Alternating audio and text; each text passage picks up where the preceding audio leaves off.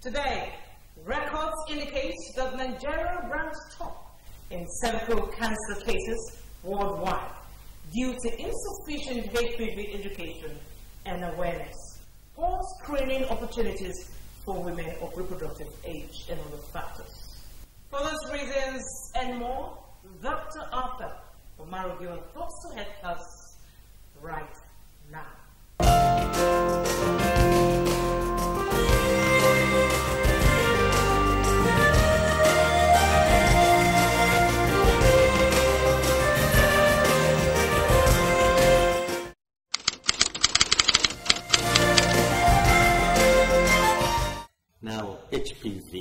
means human papillomavirus.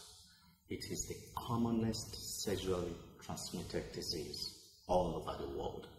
As a matter of fact, 80% of individuals who have been sexually active at any point in time would have HPV infection. That means every three to four persons out of five would have had HPV infection at some particular point in point in time. And that suggests to us that it's a global epidemic and it should attract adequate attention at all levels national, state, local, corporate bodies, individuals, and so on. The human papilloma virus is ubiquitous. That means it is everywhere. As a matter of fact, over 100 strains of the virus have been identified.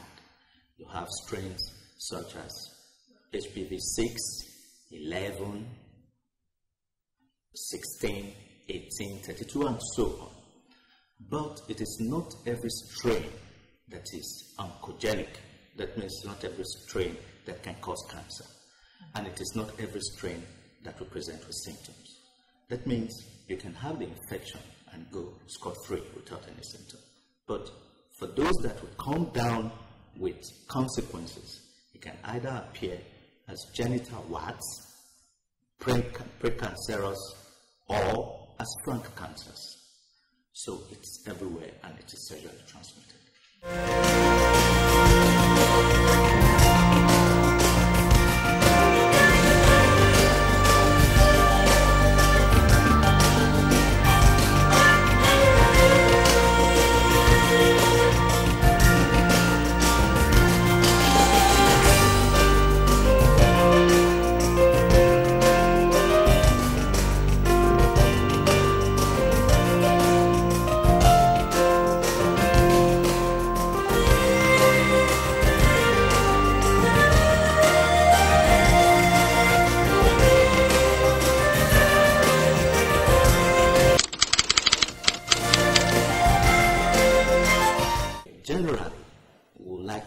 Say you have the low risk HPV and the high risk HPV.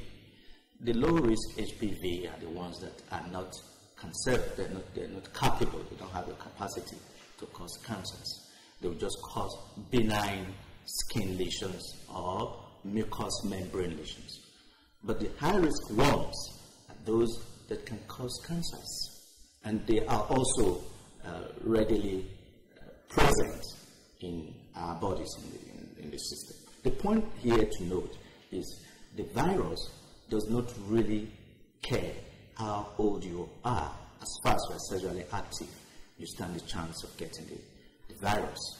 And it also does not really care your predilection for sexual gratification, whether you are heterosexual or homosexual, you stand a chance of uh, having the infection.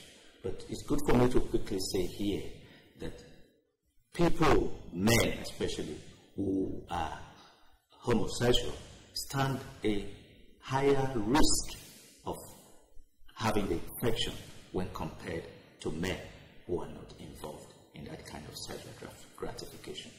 Of course, there are other associated factors that can predispose you to the infection. Like I said before, you can actually go symptomless. You can actually have the infection, the virus, and you go symptomless. You know, if you are into habits such as smoking, your immunity will be reduced. And if your immunity reduces, then you stand a higher chance of getting the infection. In addition to that, the possibility of this infection causing some form of what we call dysplasia in medicine. That means abnormal cell growth that will eventually translate to cancer is reduced if your immunity is compromised by you know, from smoking. So we usually also uh, add smoking as one of the uh, risk factors for uh, HPV virus sequelae and its related uh, diseases, especially the cancers.